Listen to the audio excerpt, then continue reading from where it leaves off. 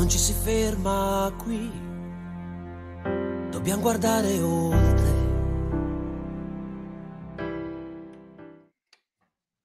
Amici e amiche del Genoa tipico, ma soprattutto in questo caso amici e amiche di Genoa e dintorni appassionate di calcio, ben trovati, nuovo podcast, nuova idea del Genoa tipico e un ospite d'eccezione veramente particolare come Francesco Bacini al mio fianco. Ciao Fra.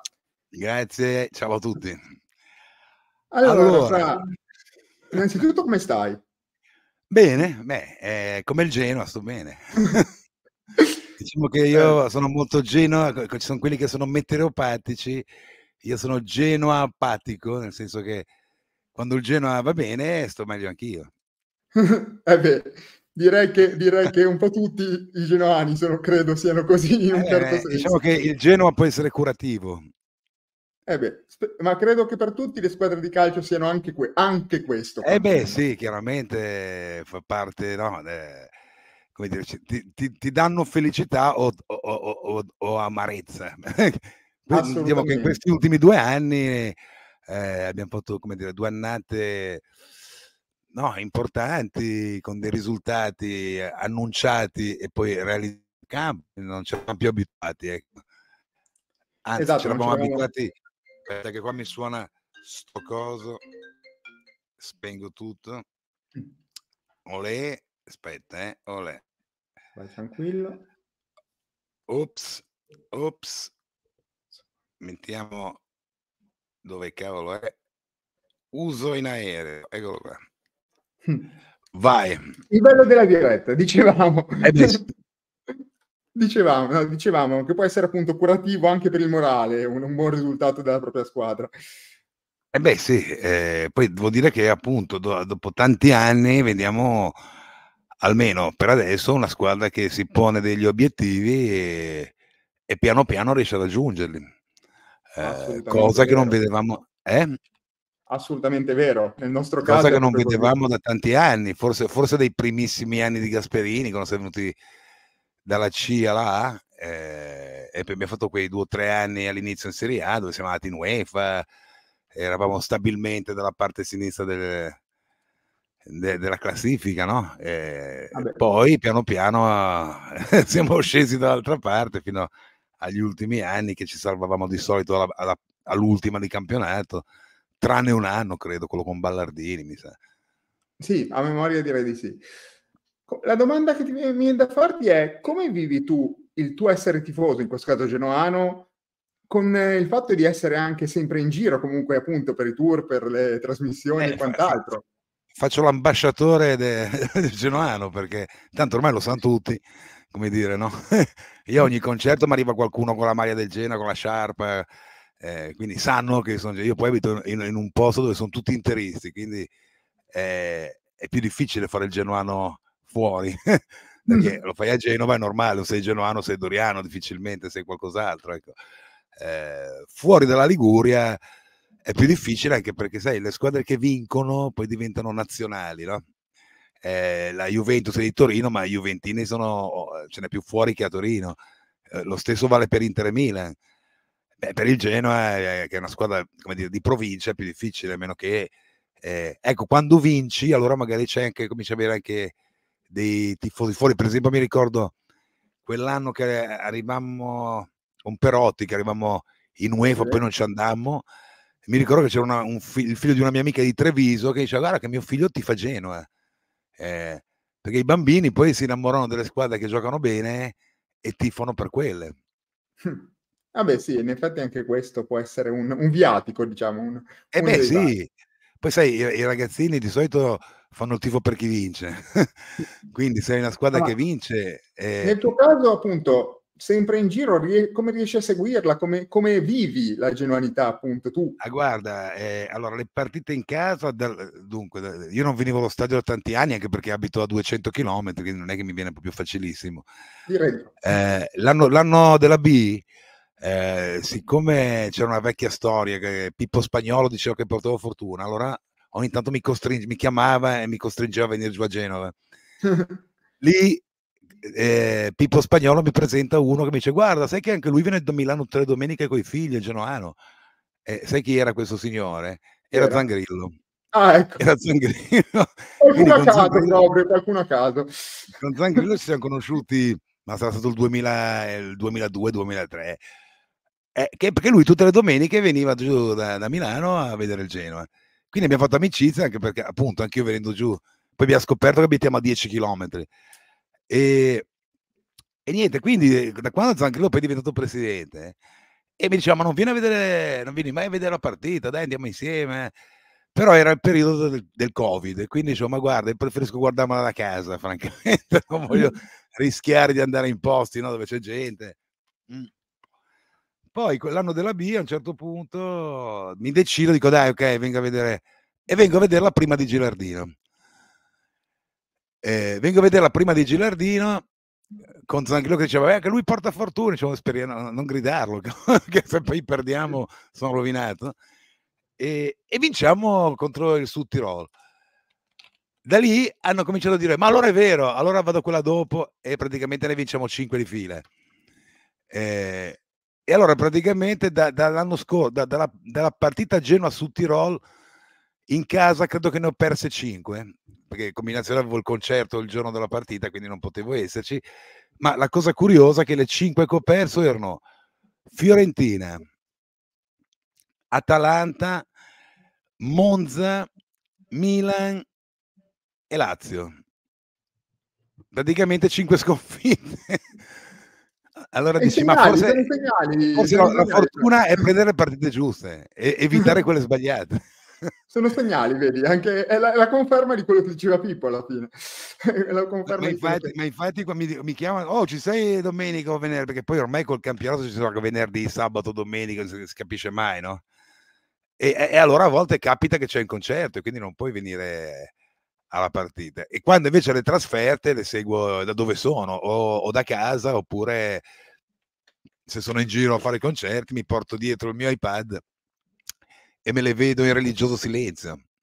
Ma il tuo buon chitarrista che ho conosciuto, e salutiamo, eh, è genuano come te o c'è un... Ma, ma diciamo che l'ho, l'ho, fatto diventare genuano io, perché Michele, eh, lui è, è, un partito de, de, delle moto, quindi col calcio ci azzeccava poco. Poi è venuto, ha cominciato a venire allo stadio, ha visto tutto questo spettacolo che è, è, lo, è, lo, stadio del Genoa, quando gioca il Genoa è uno spettacolo al di là della partita. E devo dire che tanta gente veramente rimane colpita da, dallo spettacolo che c'è sugli spalti, perché non in tutti i campi funziona così. Eh. Guarda, io quest'anno sono andato a vedere Fiorentina-Genoa, perché mi, ero da quelle parti, sì. e oh, sarà che lo stadio della Fiorentina c'è la pista intorno, quindi sei più distante dal campo, ma anche le coreografie, la musica prima, ah, sembrava una squadra di Serie B. cioè, il giorno prima della partita c'è veramente uno show. e, poi da quando abbiamo... A Firenze eh? ci sono stato anche io, non quest'anno, ma diciamo quando ci siamo salvati all'ultima giornata, se ti ricordi. Sì, eh, certo, come no. Io ero a casa di Zangrillo a, vedere, a vederla dalla TV, ma io guardavo, guardavamo l'altra perché Genoa, Fiorentina e Genoa praticamente non stavano giocando e dipendeva tutto allora, da ora, ora ti, Empoli allora, Inter. racconto sempre questa cosa. Io avevo una la cuffietta per sentire eh. cosa succedeva a San Siro. Eh, infatti, perché cinque, era di là che era di là che intorno, era... cinque fiorentini eh. intorno, finisce la partita a Firenze. Radio 1 aveva, era saltata da, Firenze, no, da Milano a Firenze in quel momento, finisce a Firenze, risaltano Milano, noi crediamo che sia finita. No, c'era ancora no. di quel bar famoso. No? E eh certo, anche perché eh, credo l'Empoli fosse che giocava contro Empoli, l'Inter, sì. che ha preso Empoli, tipo una traversa alla fine, cioè una roba... Era Inter-Empoli e l'Empoli alla fine veramente aveva preso d'assalto l'Inter e, e, e per sfortuna loro non hanno vinto, ma ci sono andati molto vicino molto molto vicino ed è stato, guarda, è stato più una, un patimento essere allo stadio mi ricordo che con Zangrillo eravamo disperati. Zangrillo dava le testate contro il muro, non finiva mai quella partita. Mentre quella della Fiorentina Genoa non l'abbiamo neanche vista perché praticamente loro facevano, giocavano in playback. Facevano, non, non uscivano da centrocampo. Esatto, facevano finta di giocare, giocavano anche perché anche la Fiorentina rischiava in quella partita sì. lì. Sì, sì, sì. Perché Era se per caso avesse perso e avesse vinto l'Empoli andava giù la Fiorentina. Era, molto, era Quindi, una cosa molto particolare quella, quel sì, Sì. Infatti eh, la, la, partita si giocava a, Mila- a, Milano e loro giocavano di conseguenza del risultato di Milano. In pratica Poi sì, guarda, bene. te lo posso confermare, ero lì, te lo posso confermare, sì, sì, sì, in conseguenza. Eh, e, detto questo, e niente, invece... quindi... Vai, vai, no, dico, quindi quest'anno, già dall'anno scorso, anzi, quando, allora, chiaramente la nuova proprietà è entrata in un momento abbastanza disagiato perché la squadra era a pezzi, e, e non c'era neanche una squadra, francamente. No? Il povero Ballardini mi ricordo che all'inizio del campionato ha fatto il ritiro con quelli della primavera, non c'era nessuno. Perché poi preziosi li comprò i giocatori tipo all'ultimo giorno di, di, di mercato e arrivarono 5 giocatori, di cui 4 erano a pezzi perché eh, Caicedo, Maximovic, tutta gente che ha giocato pochissimo perché era messa male, fisic- cioè aveva dei problemi a livello fisico proprio. E quindi costruire una squadra... squadre buone, ma non era in condizioni buone, diciamo così. No, sai, eh, non è che giochi a figurine, eh, no, perché esatto. uno può anche, perché Maximovic è forte quando è in forma, in quel momento non era in forma, infatti giocava poco e male, Caicedo era, era l'ombra di Caicedo che mi ricordavo la Lazio, no? Era, esatto. era, più lento di mia nonna. Caicedo la Lazio era un fulmine, mi ricordo quando entrava, era, no, era veramente devastante. Con noi era devastato, più che devastante. esatto, eh, poi arrivò, arrivò, arrivarono gli americani che secondo me all'inizio non ci capivano quasi niente, infatti arrivò um, Shevchenko che era una scelta assolutamente d'immagine, nel senso sì, facciamo parlare del Genoa, ma eh, poi abbiamo capito che Shevchenko come allenatore, ecco, mhmm, direi che eh, qualche problemino ce l'ha, anche perché aveva allenato soltanto la, l'Ucraina, ma allenare la nazionale non è che allenare una squadra di club, eh, quello della nazionale è un selezionatore che prende i giocatori più in forma, li butta in campo e, della serie di giocate, anche perché non puoi preparare schemi o cose del genere con la nazionale, è difficile. Quindi è arrivato Shevchenko in una situazione già disastrata e non, non è riuscito a, a fare niente. Poi è arrivato Spors, Spors ha portato un po' di giocatori che devo dire si sono rivelati poi anche dei, dei begli acquisti perché i vari Frendrup, Gudmundsson, Martinez arrivano tutti da lì. Eh. Eh, alcuni non sono andati bene, tipo Yeboah o, o, FT, che poi per esempio FT all'inizio sembrava il miglior acquisto perché le prime 6-7 partite di FT a me aveva impressionato, cioè sembrava un giocatore di categoria, cioè sembrava forse il più forte che avevamo preso. Poi invece ha avuto un'involuzione che non riesco nemmeno io a capire come mai, perché no, uno no, difficilmente si dimentica di saper giocare a pallone. FT, no, in effetti, in effetti FT, tra, l'altro, periodo... tra, l'altro, tra l'altro, una cosa particolare che è successa, non, non invento nulla perché poi una dichiarazione di, di uno dei giocatori di quel, di quel Genoa, Calafiori, che ha detto ah. che l'unico vaffa che, di- che darebbe lo darebbe Blessin. Cioè, questa eh, una... anche lì, anche lì, quando è arrivato Blessin, a parte che io devo dire non sono molto per gli allenatori stranieri, ma non perché abbia dei problemi di razzismo. Anzi. Ecco, hai anticipato già una domanda, quindi vai. eh, ma più che altro perché il campionato italiano è abbastanza particolare. È un campionato super tattico, un campionato difficilissimo secondo me poco spettacolare perché poi io mi guardo spesso la Premier League che è molto più spettacolare del campionato italiano, ma proprio come tipo di gioco, come approccio. In Inghilterra giocano per far gol, in Italia giochi per non prenderle e quindi è un gioco più difensivista, più, anche più noioso da vedere. Ecco. Quindi è arrivato Blessin che però aveva questo carattere, è riuscito a, a smuovere un po' quella scuola che mi ricordo le prime partite, se non altro pressavano, giocavano, poi siamo stati anche un po' sfortunati, cioè, cioè potevi vincere, le abbiamo pareggiate, quindi perdi dei punti. Però forse tutto sommato eh, quell'anno lì andare in B non, dico, non, non, so se sia stato un male, perché andando in B dovevi ricominciare un ciclo. Se noi ci fossimo salvati, arrivati quartultimi, non so se era meglio, sai. Eh... Guarda, sai che ho fatto lo stesso ragionamento io in un video tempo tempo addietro ormai, perché stiamo parlando ormai di due stagioni fa, quindi direi che due anni fa. il tempo è passato. E ho fatto più o meno lo stesso ragionamento, perché è stato secondo me anche un depurarsi anche da una mentalità che avevamo sì, sì. in quel periodo. Oltre che un discorso, un certo. discorso economico-sportivo. Eh, e poi invece... hai fatto un campionato in B dove comunque hai fatto tornare eh, la voglia alla gente di venire allo stadio perché la gente in quel periodo lì non è che venisse così volentieri a vedere il Genoa, cioè, come dire, ok che noi genuani non ci rendiamo davanti a nulla, però, eh, sai, come dire, vuoi anche un po' no, di, di, bel gioco oppure di risultati, i risultati poi fanno venire la gente allo stadio. E non era così scontato che noi andando in B venissimo subito in Serie A, perché come abbiamo visto, eh, come vediamo tutti gli anni, la B è un campionato veramente strano, perché il nome lì non conta niente eh, alla fine viene in Serie A magari una che arriva dalla C. Mentre nel campionato di Serie A le prime 6-7, io ti posso già dire i nomi dell'anno prossimo, che sono quelle. Eh. Io di, solito eh. azzecco, io di solito azzecco chi si gioca lo scudetto, poi l'ordine esatto delle altre. Eh certo, però, però, diciamo le prime 6-7 squadre sono più o meno le stesse, non ci sono quasi mai sorprese.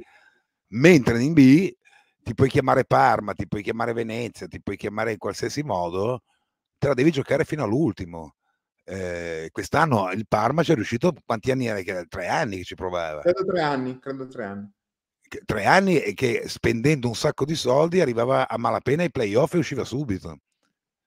Quindi, eh, oppure pensa al Bari che l'anno scorso a un minuto dalla fine era in Serie A, eh, grazie a Pavoletti al, all'ultimo secondo è rimasto in B e quest'anno tra un po' si giocava di andare in C. Quindi eh, tra l'altro, tra l'altro si è salvato contro una, un ex Genoa che era sì. Breda, perché Breda è un eh sì, Genoa, Ternana. Esatto, che, che, è un allenatore, che era ormai gli scadrà il contratto il 30 giugno, allenatore della Ternana. Chissà che non possa arrivare anche Roberto da noi eh, ah. qui sul, sul podcast. Mm, ho, ho lanciato ah. così, ah. poi vedremo, vedremo. Certo. Detto questo, invece, no, volevo, chied- volevo, andare un attimo a parlare di Genova, ma anche di musica in un certo senso. E tu, diciamo che colleghi bene le due cose.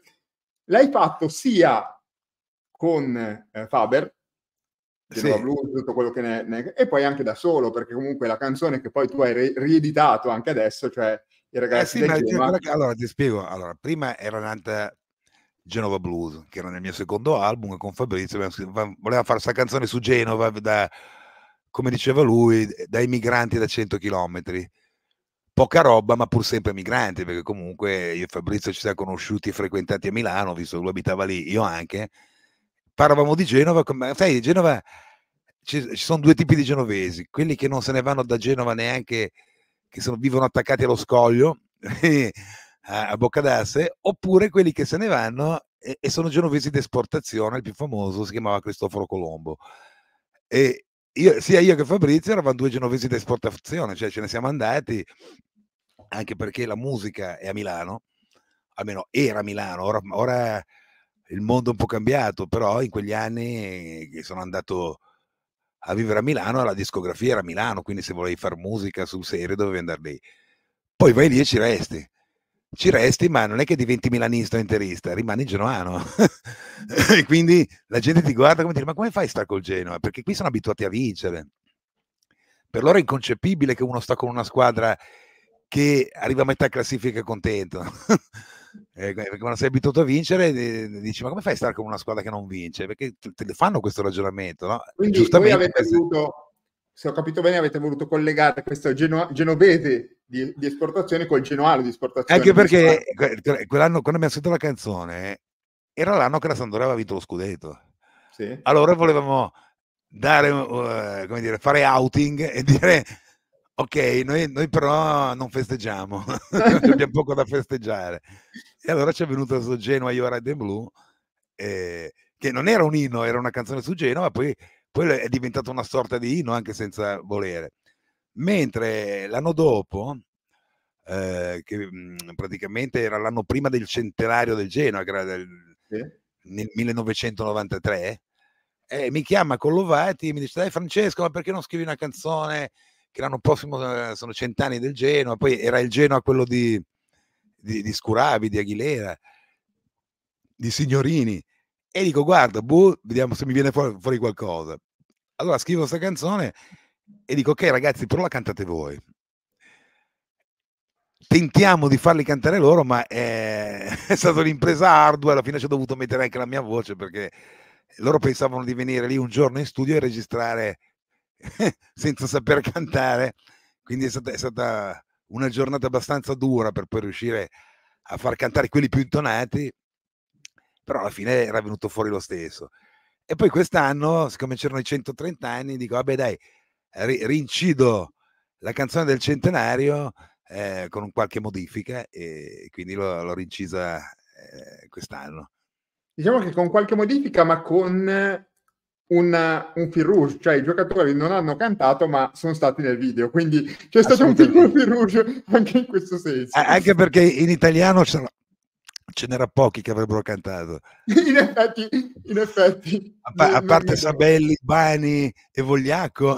in, realtà, in realtà Ecuban è di Verona, è di vicino Verona. Beh, quindi... e, no, Ecuban sì. Poi Ecuban è anche uno molto appassionato di musica, quindi eh, si diverte molto a cantare, a ballare. A cioè, è uno molto appassionato di musica, anche Messias. Eh, Beh, no, è brasiliano, tutti i brasiliani, i brasiliani c'è calcio e musica. Eh beh sì, no, ma tra l'altro una, una, cosa che ti avevo detto quando ci siamo conosciuti al, um, alla presentazione del libro di Nela, perché noi ci siamo visti sì. la prima volta lì, e Geneva Blues è una delle prime canzoni che poi ho cantato, diciamo, in età un po' più adulta. Era stato eh, sì. è stata quella, eh, proprio perché c'era questo legame un po' con De André, un po' con Genoa e certo, poi certo. la musicalità e quant'altro, allora mi è, mi è, sempre un po' piaciuta. E infatti mi ha fatto piacere quel giorno conoscerti e potertelo dire, diciamo, proprio perché era una cosa un po' particolare. Che...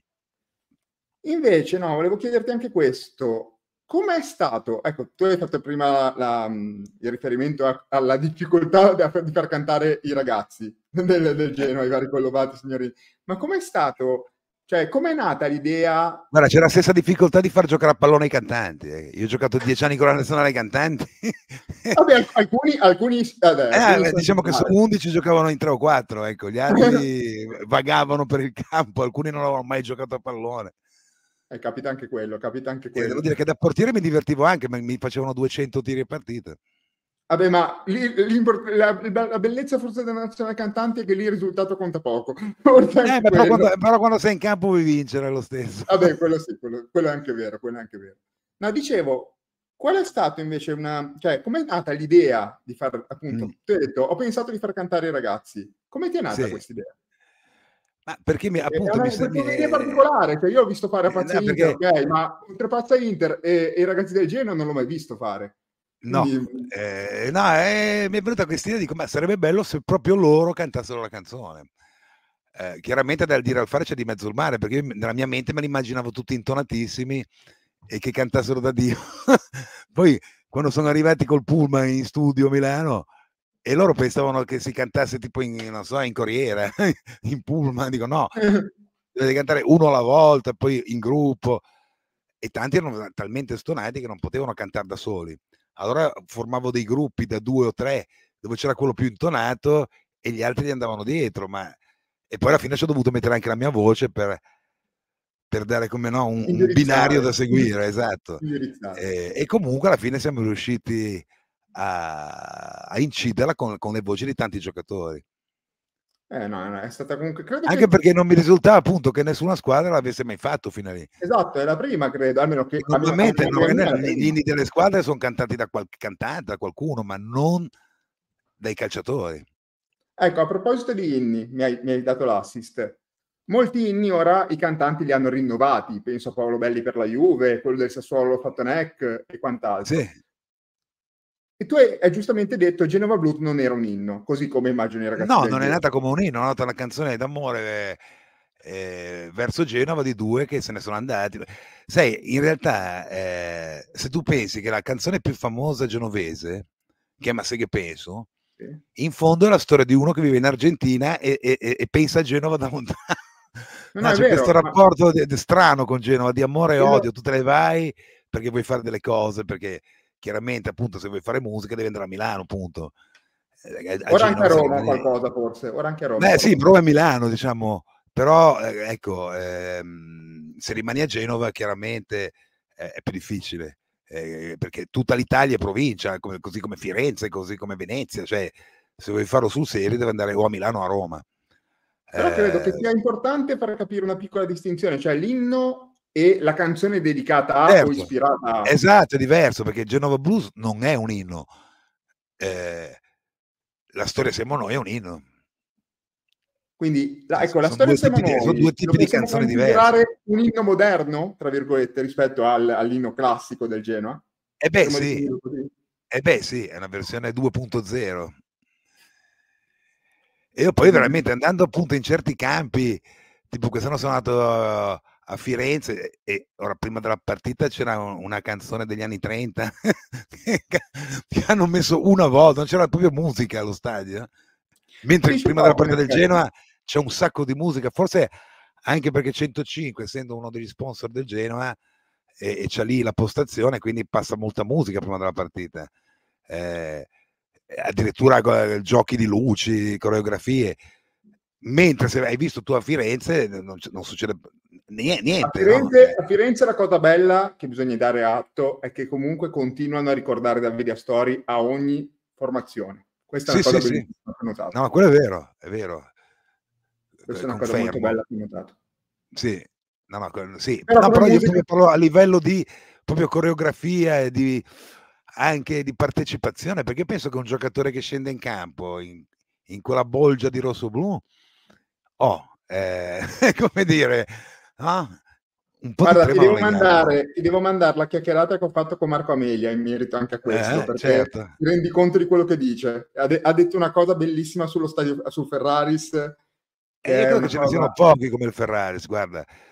Io credo che, ecco, io ho visto una stessa, la cosa così, tipo a Roma, eh, con la Roma all'Olimpico, prima della partita. eh, Cioè, ti rendi conto che la Roma sta giocando in casa e, e senti la presenza veramente de- de- dell'Olimpico. Poi io ero andato a vedere una partita di Coppa, quindi era pienissimo e faceva una certa impressione, ecco. Con tutto lo stadio che cantava in co- cioè, una roba veramente la pelle d'oca e, e chiaramente entrare a giocare in uno stadio così non credo che sia facilissimo per un avversario. Poi chiaramente sei un professionista e dopo un po' giochi, però l'impatto eh, lascia il segno, ecco. Non a caso Marassi è tornato a essere il vecchio Fortino, perché noi per, per qualche anno la storia del Fortino di Marassi era, era la barzelletta, ci batteva chiunque in casa. E negli ultimi anni, no? Era difficile che vincevamo noi. Anzi, era più facile che vincevamo fuori casa che in casa. Mentre da- da- da- da- dall'avvento di Gerardino, battere il Genoa in casa è un'impresa, abbiamo visto quest'anno, per qualsiasi squadra. Perché il Milan ha vinto con un gol di petto, eh, che- altezza gomito. Chiama- quindi, ah, Io ho ancora dei esatto. dubbi su quel gol, ma lasciamo perdere. Vabbè, ma chiunque ha dei dubbi, perché questo qui si chiama braccio, non si chiama petto. No, poi bisogna sempre vedere la parte punibile, la parte non punibile. Lì è sempre un solito discorso. Sì, comunque, francamente, ecco, io credo che chi- tu fai vedere quell'azione a chiunque ti dice, vabbè, fallo. Eh, poi Pulisic, un un giocatore fuori classe, è riuscito a, a fregare l'arbitro e ha fatto Ah, gol, va sì. benissimo.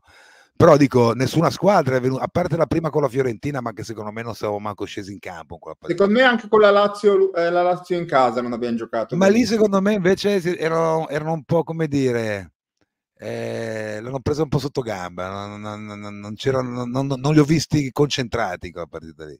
Esatto, sì, allora pensiamo uguale. Allora stiamo pensando uguale. Cioè era una partita come dire, boh, mentre nelle altre partite no, perché col Sassuolo, eh, col Bologna l'ultima, eh, siamo entrati per vincere e abbiamo vinto. Assolutamente. Mentre con la Lazio non so cosa sia successo, ma non era il solito Genova. Forse era Concordo. pagato in quel momento lì, magari forse abbiamo fatto qualche partita, non so di troppo, nel senso che forse erano stanchi, non lo so, però non era il solito Genoa in ca- casalingo. Ti faccio un'ultima domanda che siamo quasi in chiusura, ti faccio una piccola domanda che è questa. Io so, vedendo quello che dici anche su Facebook, sente- leggendo i tuoi post, eh, che tu fai molta distinzione, anche giustamente, tra la musica, diciamo, de- dei tempi anni 90, 80 e così via, rispetto a quella di oggi. Io ti faccio questa domanda. Molto spesso, Ah. si, dice, molto spesso si dice che ogni volta che si fa un confronto anche nel calcio, eh, ma era un altro calcio, era un'altra epoca. L'epoca del calcio, quando inizia e quando finisce a questo punto? Perché è difficile ogni volta chiudersi su sta scusa senza dare una definizione, ognuno credo abbia la sua. Beh, ma sai, allora, innanzitutto, eh, chiaramente il calcio ha anche cambiato eh, delle regole, per esempio, prima il portiere non toccava la palla non poteva prendere la palla con la mano, un passaggio indietro. Il calcio si è velocizzato tantissimo negli ultimi 30-40 anni. Se tu oggi guardi Italia-Germania 4-3, sembrava una partita della nazionale cantanti, cioè andavano, camminavano in campo, il giocatore partiva dalla sua area e arrivava su, nella tre quarti avversaria senza che nessuno gli andasse incontro. Oggi non riesci manco a uscire dall'area perché c'è già tre che ti pressano, no? Eh, oggi, se, ecco, differ- prima il calcio non era neanche considerato uno sport. Mi, mi, ricordo che quando giocavo a pallone il mio medico, la mia madre diceva, ma il calcio è un gioco, non è uno sport. Mentre negli ultimi 20-30 anni il calcio è diventato uno sport, c'è una preparazione atletica, ma vedi anche i giocatori stessi, la, la conformazione fisica, cioè, sono tutti degli atleti, eh, anche perché corrono il triplo di prima. Eh, chiaramente diciamo, un... le modifiche che sono state fatte al modo di giocare hanno definito... Eh, diciamo che il calcio è stato velocizzato, eh, hanno cercato di velocizzarlo per renderlo probabilmente più, più spettacolare. Eh, poi c'è stata l'Olanda che nel 74 ha cambiato il modo di giocare, eh, anticipando quello che poi è diventato il calcio moderno.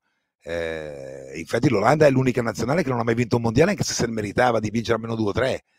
Arrivava in finale e poi perdeva la finale, però l'Olanda di Cruyff ha rivoluzionato completamente il modo di giocare a pallone, che poi è lo stesso modo con cui Sacchi e, e il Milan di Sacchi, c'era una squadra che correva due volte l'avversario e abbiamo visto che nel calcio moderno chi corre di più e, e, anche, ed anche la tecnica vince. Vedi l'Atalanta di Gasperini. Eh, Gasperini è uno che fa un gioco molto fisico, ma anche tecnico, non è solamente fisico. E nell'Atalanta, nell'Atalanta ma anche nel Genoa di Gasperini, 10 eh, giocatori, a parte il portiere, giocavano in 20 metri, tutti avanti, tutti indietro.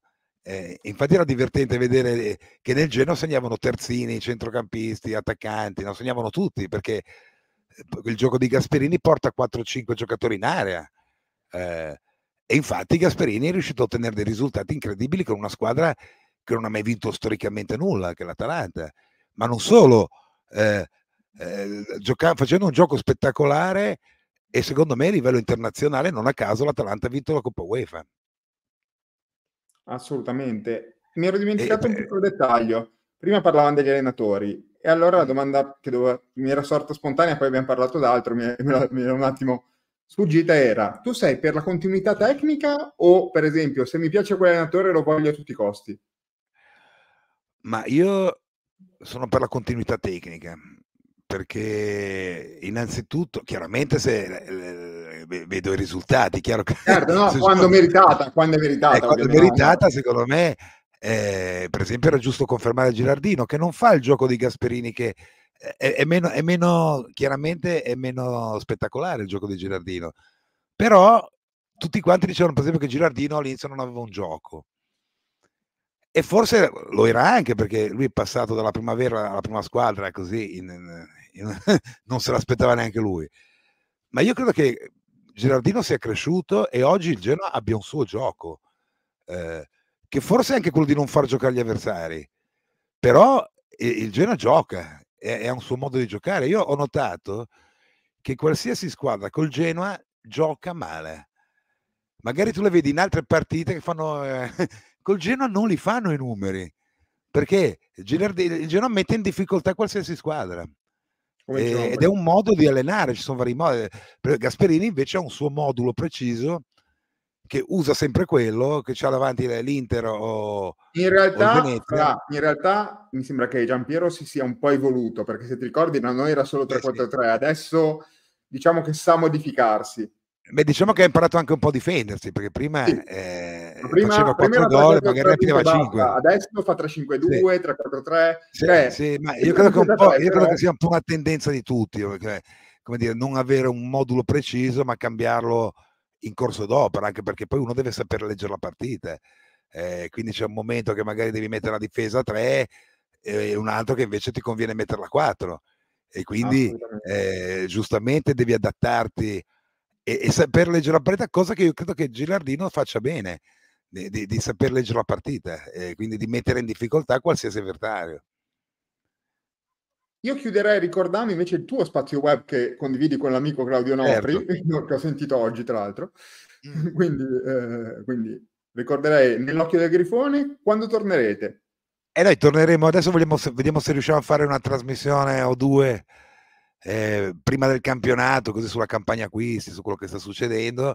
E poi ovviamente torneremo con la prima di campionato. Quest'anno credo che sia il quarto quinto anno, ho perso il conto.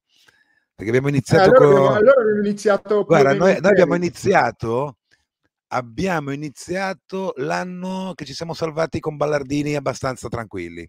L'anno di Eh, allora Shomurodov, sì. di Scamacca, Sì, sì, quindi cos'era 2020, non mi ricordo, ho Più o meno- perso... sì, più o meno più o meno.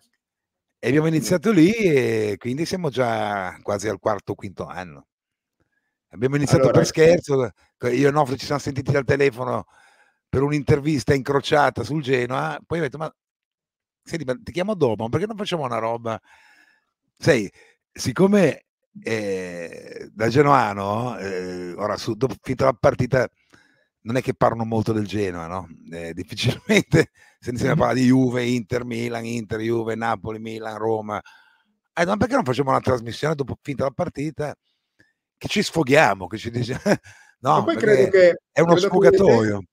credo che abbiamo avuto un'idea anche simile, perché quello era un periodo di Covid, di quant'altro, quindi era anche un modo per parlare di Genoa con altri, perché io ho, Eh, certo. ho, ho fatto nascere i miei live reaction così, proprio per questo Sì, sì. Quindi, Eh, poi, poi, eh, sai, io eh, parlo di Genoa, esco qui, vado al bar e, e sono interisti, quindi è difficile quindi è di- ancora più difficile, giustamente. è ancora più difficile. Eh, allora mi mi sono inventato questa roba qui. Almeno, almeno dopo la partita mi sfogo e parlo con dei genoani sulla partita che abbiamo appena visto. Quindi per chi vuole seguirti, lascio qui i Twitch e YouTube del tuo canale. Certo, di- nei- Twitch, YouTube e anche, anche su Facebook. eh, Ah, ecco, perfetto, anche Twitch, YouTube e Facebook. Lascio e la pagina nell'occhio del grifone. i Ormai siamo la compagnia fissa. Eh? E a questo punto io ti ringrazio di essere stato con me, E grazie a te. di aver, e di aver anche inaugurato questo nuovo podcast con me. alla grande. Quindi ti ringrazio veramente tanto e spero di riaverti magari in altre occasioni. Senz'altro. E forza Genoa. sempre. Forza Genoa. Ciao Fra, grazie. Grazie, ciao a tutti.